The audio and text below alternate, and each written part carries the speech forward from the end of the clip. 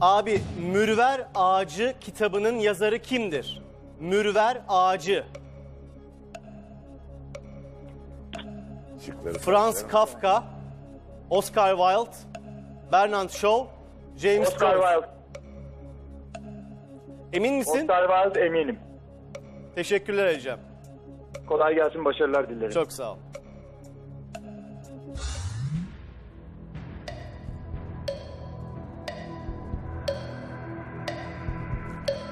Oscar Wilde, D şıkkı Oscar Wilde son karar.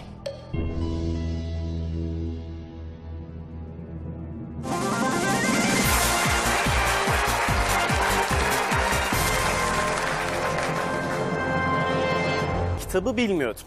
Arkadaşın Ağacı'nı ne iş bilmiyordum. yapıyordu? Bilgisayar uzmanı.